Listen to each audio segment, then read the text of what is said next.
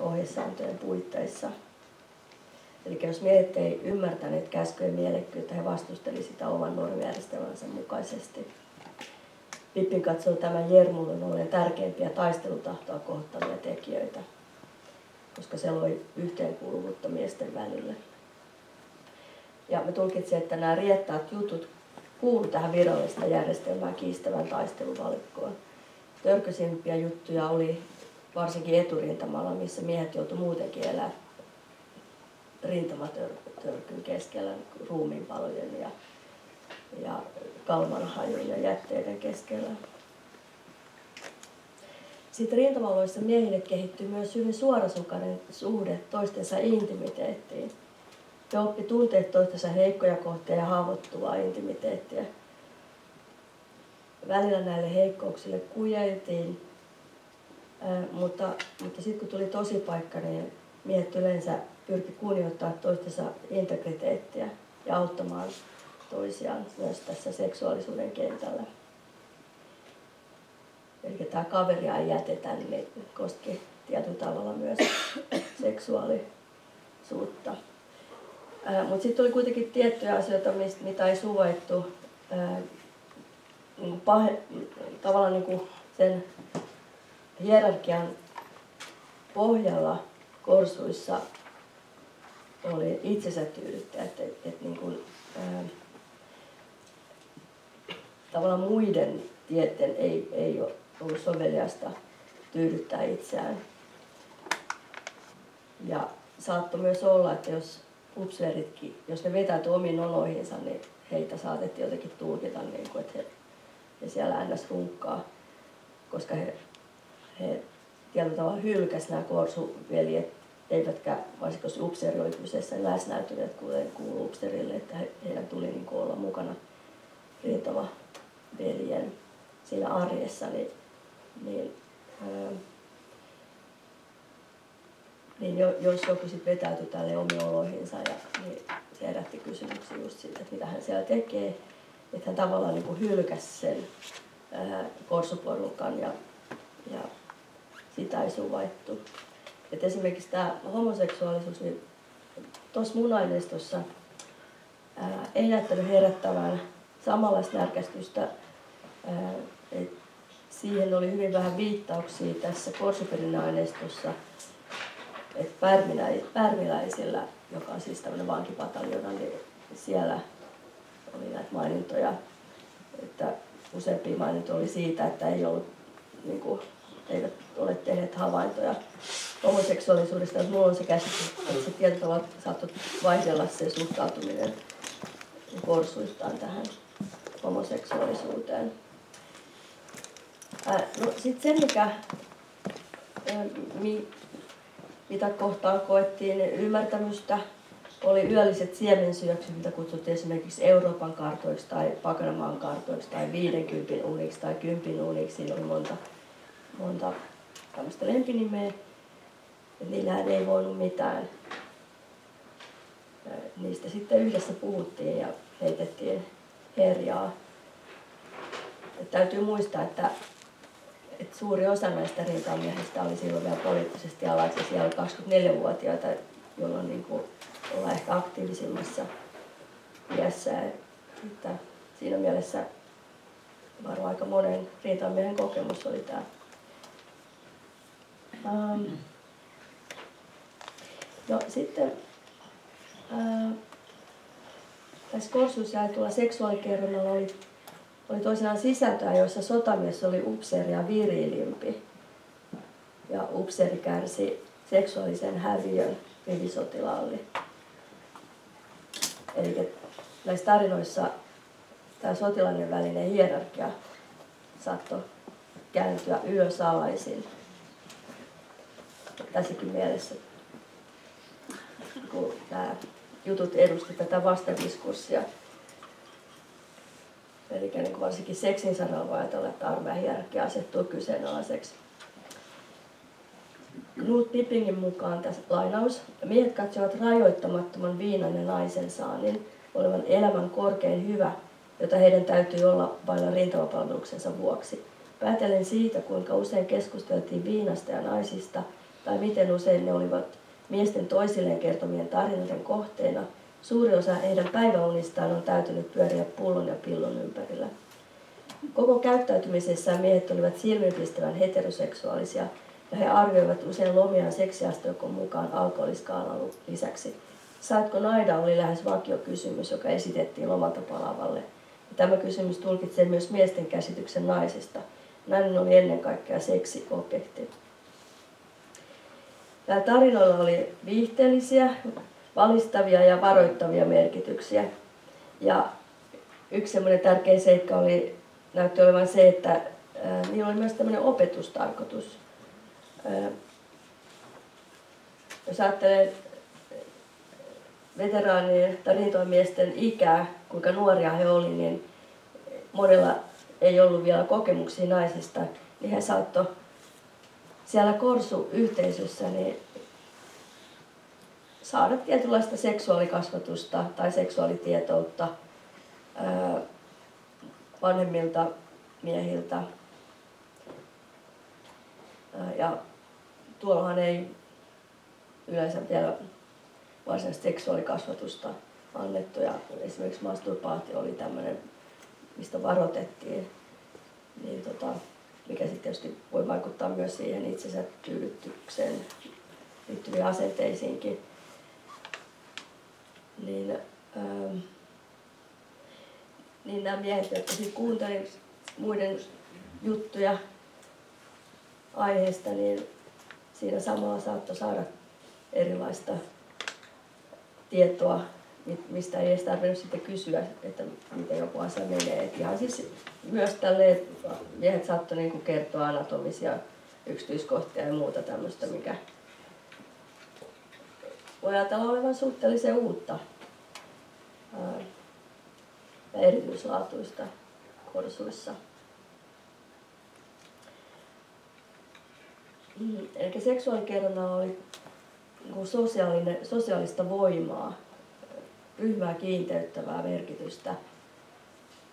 Se tietyllä tavalla valisti ja valtaisti myös miehiä. Ja heidän välisiä jännitteitään myös hillitsi usein. Aineistossa todetaankin, että jossain kohti, että puhutaan seksistä tai vitusta, niin ei tule riitaa.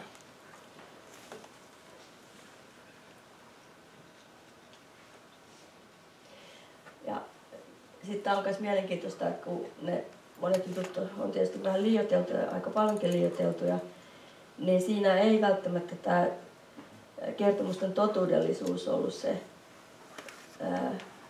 mitä edellytettiin, vaan kun joku juttu hyvin kerrottiin, niin se ikään kuin todensi sen miehiä yhdistävän seksuaalisuuden voiman ja, ja tälle tietyllä tavalla voimisti antoi miehille semmoista niin kuin itseluottamusta seksin saralla. Ja vaikuttaa kun luki niin oli sellainen, tuli sellainen tunne, että tässä on jotain jopa pyhän kaltaista, transcendentaalista, mikä yhdisti miehiä. Että tavallaan se naisen yhteinen naisen puute, minkä miehet jakoi keskenään, niin, niin siinä oli joku sellainen ulottuvuus, joka, jota voi tulkita joksikin semmoiseksi, mitä ei, sanoilla pysty saamaan kiinni, vaan se menee jotenkin tuon puoleisen puolelle. Eli tälle seksuaalikerronnalle rakentui sosiaalinen totuusarvo. Eräänlainen sosiaalinen liima, jolla oli yhteisöä koossa pitävä arvo. Ja näin se tuli myös, siitä, siitä tuli hyötyä taistelutilanteissa.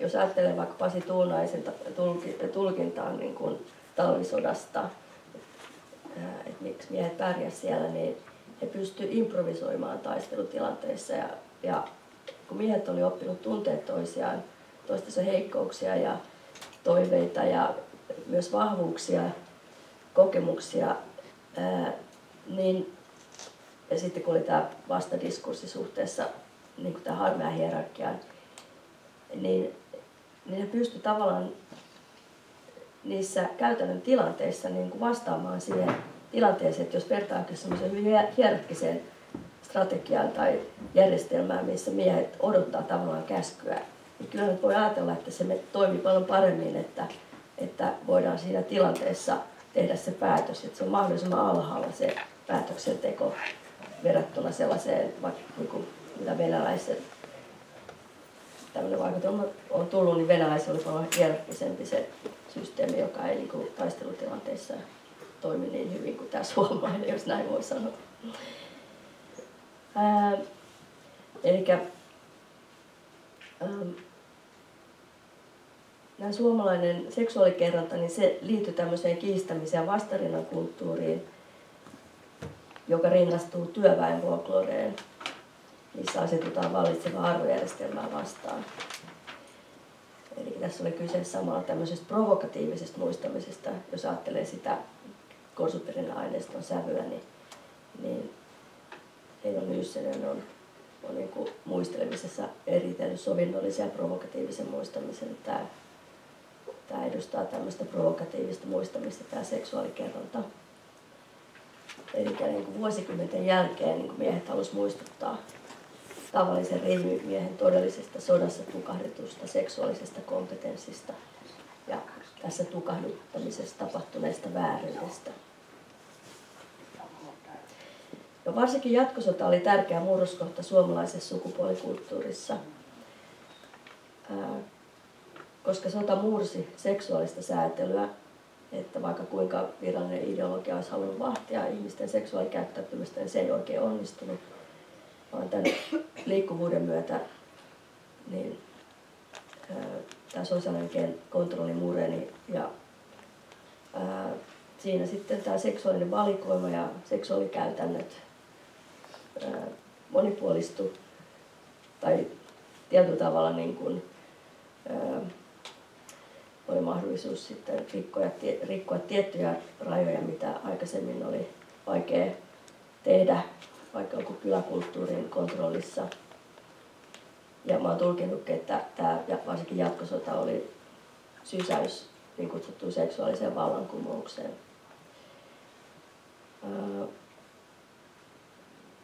Eli näissä tarinoissa tulee esiin, että miten seksuaalikäytäntöjen kirjo saattoi laajata ja seksuaalikontaktiin pääsy helpottua.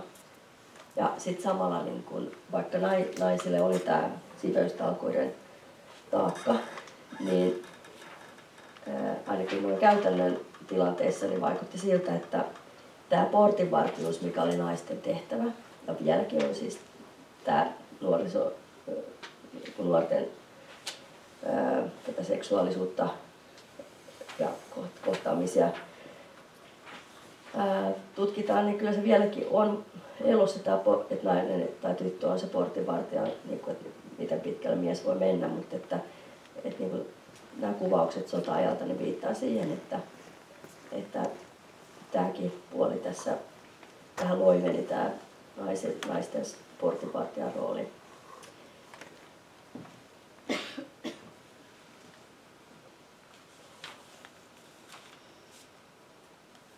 No sitten, ää, koska miehet olivat niin sanotusti kovassa puutteessa siellä rintamalla, niin sitten kun lähdettiin naistelua, niin varsinkin vieraiden naistelua lähdettiin usein rintamalta joku hyöty mielessä harmin rakkautta hakemaan. Tämä tulee hyvin esiin tässä rintamakirjeenvaihtoa koskevassa osuudessa tai niissä kuvauksissa, että siellä on kaikenlaista suurkirjeenvaihtajaa ja naisista pidettiin erilaisia listoja, niin kuin, että mikä otetaan, sit, otetaan pois sieltä niin kuin, semmoiset, joilta ei, ei niin kuin, tule paketteja tai maalaisnaiset oli tässä kohtaa parempi kuin kaupunkilaisnaiset. Ja sitten tietysti tämä itsensä brändääminen oli myös niin sota-aikana ää, kirjevaihdossa tyypillistä, niin kuin mitä nytkin on tuolla somessa. Eli kirjeenvaihdon yksi merkitys oli varsinkin, kun oli kyseessä tämmöiset, joilla ei ollut kumppania, niin eli naimattomat miehet, niin, niin oli osaltaan kartoittaa parhaimmat apajat. Ja ää, yksi sellainen ryhmä, mikä oli tavallaan ikään kuin, ää, jolla oli jonkinlaista niin kuin, ää, arvoa, oli vanhemmat naiset ja vaikka vähän varakkaammat naiset, niin ää, niistä on monia kuvauksia, että kuinka he on tavallaan parempia kuin semmoiset nuoremmat, koska niin kuin tavallaan raha ja seksi oli parempi yhdistelmä kuin sitten semmoinen niin kuin liian nuoria kokematoja, ei mitään varallisuutta vielä. Eli tässä tavallaan niin kuin vähän sama henki kuin mitä suomalaisessa kansanperinteessä, eli rakkaudelle ei näytä ollen erityisempää arvoa. Siitähän on Elina Harjamannilla ja J.P. Ruus niin kuin kanssa kirjoittanut pidättyvyyden sukupolven osalta. Näissä oma elämäkerta kirjoitusaineistossa, niin miehet ei esimerkiksi juurikaan käyttäneet sanaa rakkaus, eivätkä antaneet rakkaudelle pääosaa.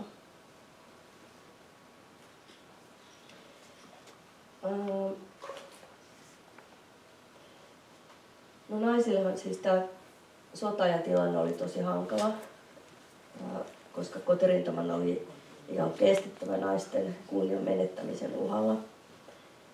Mutta sitten toisaalta miehistä tuli olemaan pulaa ja kilpailua sodan jälkeen, eli naisten piti luovia tämän maineen varjelun ja kumppanin löytämisen välillä. Ja sitten taas toisaalta, varsinkin asemasodan aikana, niin naisten työtaakka oli niin rankka, että sitten on ehkä enemmän kuin Elinan, Elinan näitä kuvauksia ja 90-luvun aineistosta, että et, et siinä mene kyllä seksihalutkin sit, kun on niin kova se työtaakka. Um, mutta tässä Korsuperinneaineistossa todetaan, että olivat kunnon tytöt aivan tosissaan valittaneet siitä, että lomalla käyvät pojat hakevat vain niitä, joita saa ja jäävät vain mies seuraa. Eli nämä just, jotka ikään kuin toteuttaa näitä siveystalkoita. No sitten näissä miesten öö, korsutarinoissa niin tyypillisesti arvioitiin naisten naitavuutta. Yhdessä korsupurikan kesken niin kerrottiin genitaalien sopivuutta mies, miehen nautintoon ja tehtiin yleisarvio naisen erottisesta tasosta. Sitten taas ajattelee naisten mahdollisuutta vastaavaan, niin, niin siinä se mainen menettämisen riski on aina vähentänyt naisista samantapaista miesten arviointia että huorittelulla on, on niin pyritty pitämään naisten seksuaaliset kokemukset niissä rajoissa, että heille synny mahdollisuuksia edempiin vertailuihin. Mutta voisi ehkä ottaa tässä kuitenkin yhden esimerkin, missä niin kuin sodan oloissakin naiset saattaa kuitenkin myös jossain määrin arvioida tota, miehiä. Tämä, tämä on tämmöinen tarina Herran Lemmenleikestä ja sen on kertonut komentajan autokuski Mä otan siitä yhden osuuden. Komentaja sanoi lähtevänsä matkaan, sillä hän halusi oman heimansa sotilaskodista. Komentopaikan kokilla oli kiire tehdä jotakin paistoksia herrolle ja heidän naisilleen. Määrättynä aikana me lähdettiin komentajan kanssa autolla hakemaan naisia. Komentaja käski ajan, ajaa ensin sotilaskodin pihaan, josta hän otti naisensa. He kävivät istumaan perään. Sitten käytiin hakemassa ne kenttäsairaalan naiset. Naiset osoittautuvatkin tutuiksi toisilleen Siksi heillä oli paljon hauskaa keskusteltavaa. Päästöimme komentopaikalle, joka oli maan päälle rakennettu komea suuri talo. Naisia oli vastaanottamassa majuri. Muutamina en heistä sinä iltana nähnyt, mutta kokin välityksellä sain sen verran tietoon, että komentaja hääri naisen kanssa omassa huoneessaan, mutta vieraat saavat naija samassa olohuoneessa himmeän valon alla. Seuraavana aamuna ja, ja kuuden maissa minun piti lähteä naisia viemään pois työpaikoilleen. Menomatkalla naiset arvostelivat herrojaan. Se, joka oli ollut herra Majurin kanssa, kertoi, että Majuri, kun rupesi rakastamaan, niin siitä ei ensi yrittämällä tullut mitään, sillä Majuri oli niin herkkä, että syöksy tuli ennen kalun sisäänmenoa. Mutta aamuyöstä, kun yritettiin uudelleen, niin kaikki jo toimi normaalisti. Ajattelin, tuolla tavalla naiset meitä miehiä arvostelevat.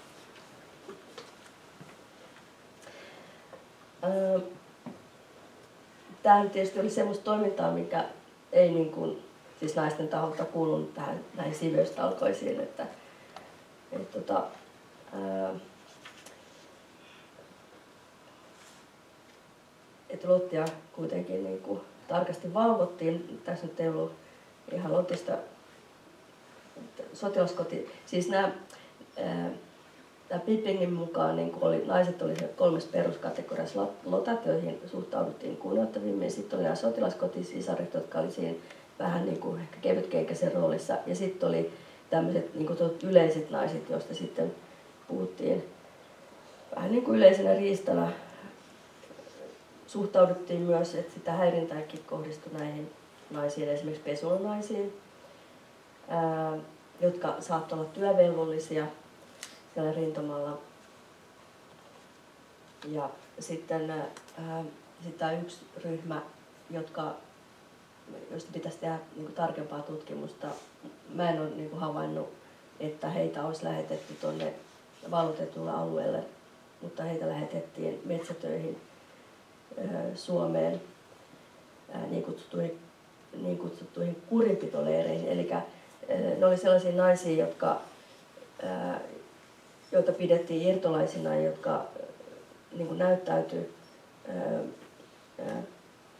työtä vieroksuvina ja epäsivellistä elämää viettävinä. Ja heihin sovellettiin irtoaislakia ja työvelvollisuuslakia. Ja tämä prosessi, miten heitä sitten lähinnä työvoimahallinnon viranomaisten taholta niin esitettiin määrättäväksi näihin kurikompanioihin, niin, niin se tapahtui sitten yleisten töiden ja kulkulaitosten ministeriön kautta. Ja tämä on mielenkiintoista, kun, että millä tavalla niin arkistoluokkia, kun ei luoda tiettyä arkistoluokkaa, niin, niin tota, silloin voidaan niin kuin historiasta pimittää tiettyjä seikkoja, että näitä kertomuksia näistä tai tapauks, tapauskuvauksia, arkistopapereita aiheeseen liittyen, niin löytyy tuolta kansanarkiston öö, mapeista rakennuslupapapereiden joukosta, koska kyse oli tästä yleisten töiden ja kulkulaitosten ministeriöstä. Eli siinä kohtaa, kun niitä arkistolakia on tehty, niin ei ole niin eroteltu näitä, näitä tota, tapauksia, joissa on kysymys tämmöisestä kurikompanioista naisille. Ja, ja nämä naiset eivät ole paljon myöskään varmaankaan muistelleet kokemuksiaan.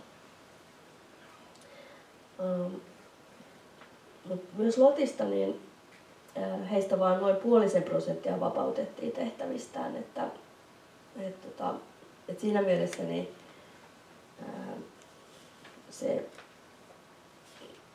niin kun vaikutelma, mitä on haluttu Lotista antaa, niin voi ajatella, että se suhteellisen hyvin pitää paikkansa. Että Pia Uussonin kerämainiston mukaan niitä oli jotain 1100 näitä toimenpiteitä, kuritoimenpiteitä, mitä Lotat oli Lottien mustan, mustan kirjan mukaan saanut. Ja jos mä nyt oikein muistan, niin ehkä joku parisen sata koskee tai runsas parissa taas sellaisia tapauksia, joissa niin kuin on niin kuin selvä seksuaalinen tausta. Mm. No, tota, ää, tämä siveystalkoot, niin siinä oli myös se ulottuvuus, että, että tota,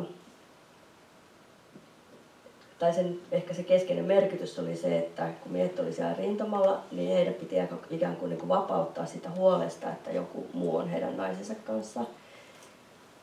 Ää, mutta sitten varsinkin siinä jatkosodan loppupuolella niin nämä jutut miesten keskuudessa lisääntyi, että mitä, mikä liittyy näihin saksalaisiin.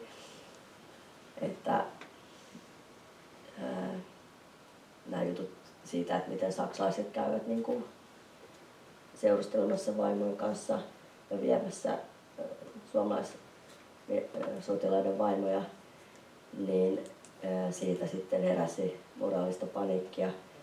Ja sitten semmoinen seikka, mikä saattoi oikeasti myös vaikuttaa siihen, että naiset oli kiinnostuneita näistä, näistä saksalaissotilaista, oli esimerkiksi sellaiset huhut, että, että heiltä saa suuseksiä.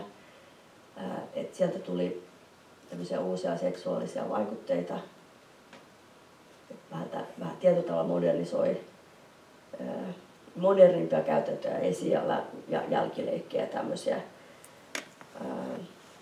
että, että tässä mielessä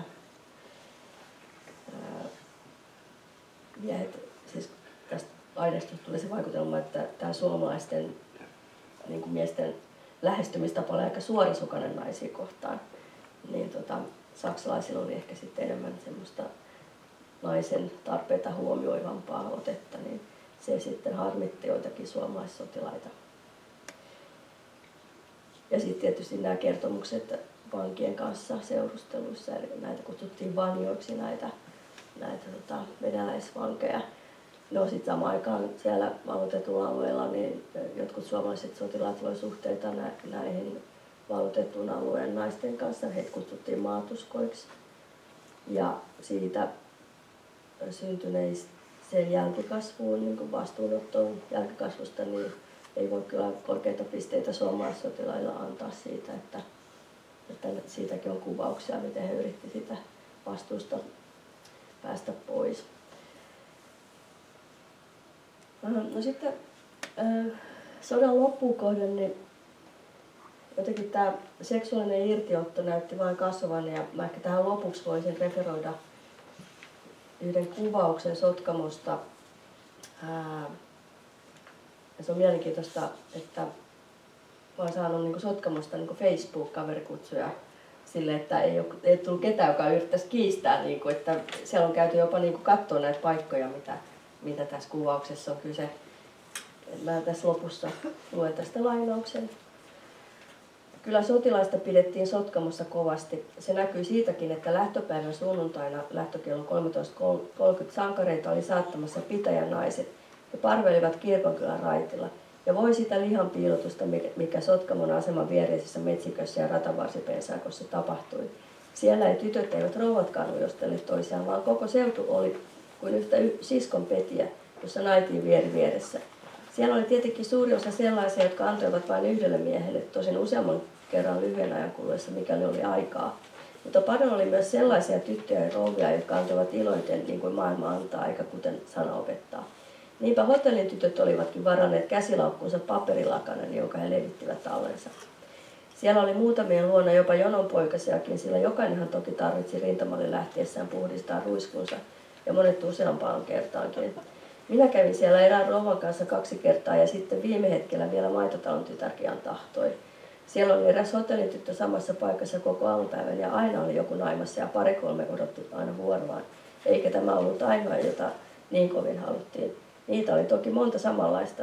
Ja jos mistään, niin tästä sitä puhuttiin paljon ja kauan. Ja puhutaan vieläkin, kuin vain kaksi sellaista aseveliä tapaa, jotka tuolla olivat Sotkamossa. Kiitos.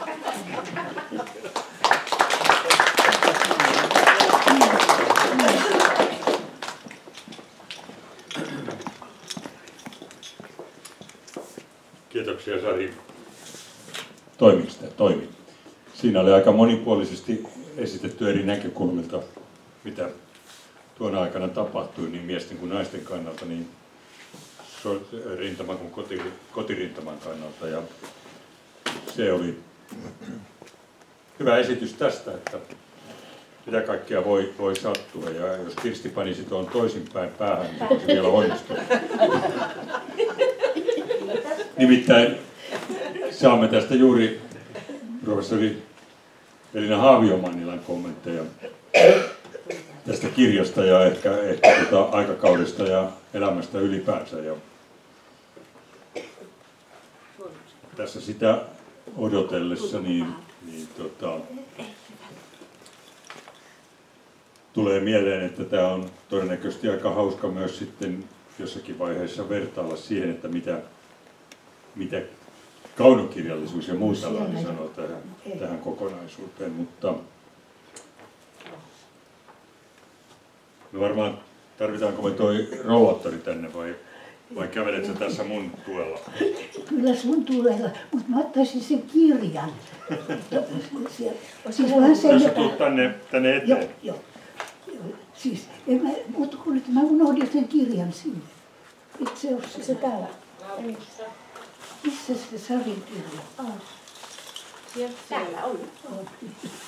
Okei. Ups. Tu- Tuliko se kirja tuonne? Joo, et, on tuossa Kirskillä saat sen. Joo. On hyvä. No niin, voitko istua tuohon? Olisiko helpompi tähän? Mitä? Sä voit istua tähän, olisiko helpompi? Mikä kirja, mikä tuoli vaan varmaan. Noin, ja Sari istuu tuossa Joo, sitten. Ja, niin toi kirja on tuommoisena tukena ja toi on Sarin lasi. joo, mä laitan. Ja mä voisin juuresta. Joo, kiitos. kiitos. Ai ja mä en muista sitä, että mä tulen sen teekin. Mä en muista. Mä en muista. No Joo, ole hyvä. Niin. Arvoisat kuuntelijat, kuun, kuulijat, mulla on tämmöinen käheä ääni. Mistähän sekin johtuu?